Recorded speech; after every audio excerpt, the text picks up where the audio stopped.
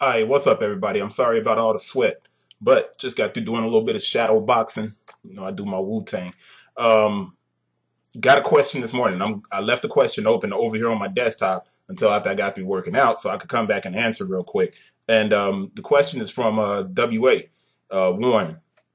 He said that you know I recall in one vid you mentioned that the mom and pop age of sneaker shops are going. Now, typically this would go into the Insider Ties category, but because I did a video yesterday um, and it was talking about from buyer to boss part one. And it was about selling shoes.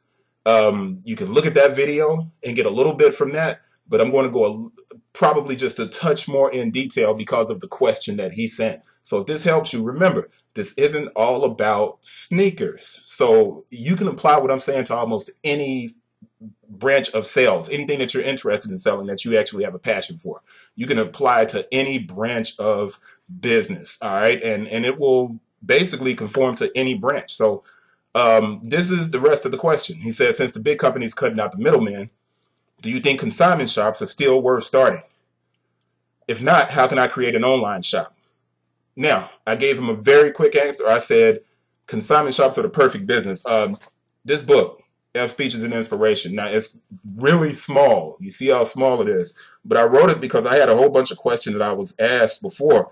Not a whole bunch, but a lot of people that would inbox me. Now you'll notice that even on this video, there's only like five views. I don't get a lot of views, but I do get a pretty considerable amount of questions.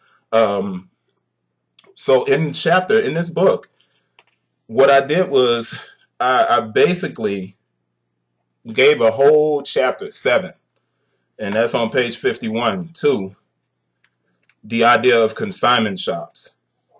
And this is the thing.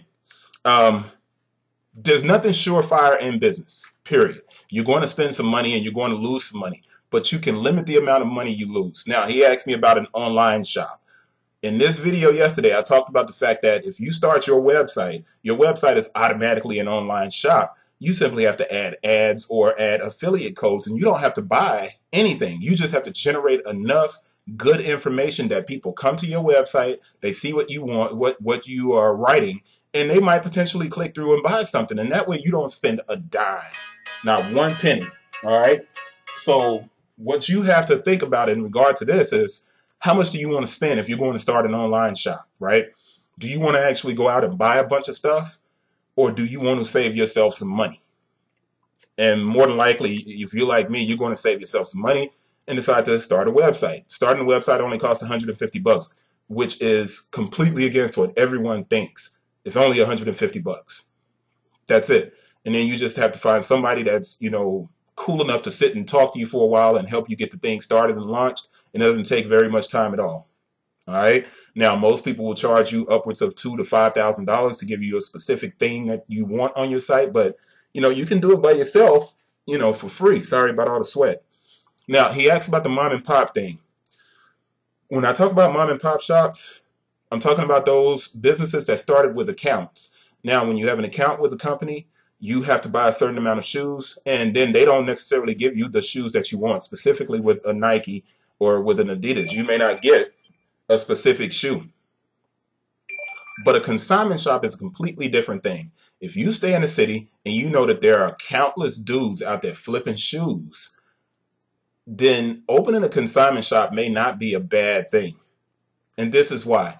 If you simply focus on the local brands, the brands that are in your city, you say, yo, bring all of your stuff over here to the shop and I'm basically setting up a local consignment shop only for the brands that are based in our city, then you can literally get everybody in your city to come and drop stuff off with you. All you have to do is pay the overhead for your building.